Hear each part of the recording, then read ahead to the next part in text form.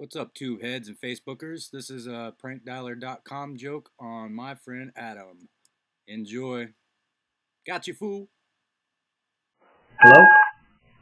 I just want to see if you're almost ready to go, man. I'm going to come pick you up soon.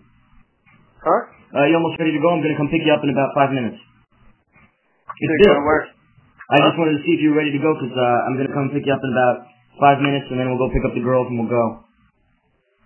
Who is this again? Uh, what, did you get already, man? What, are you wasted already?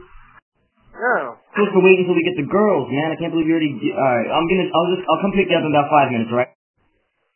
Yeah, good old, yeah, good old humor.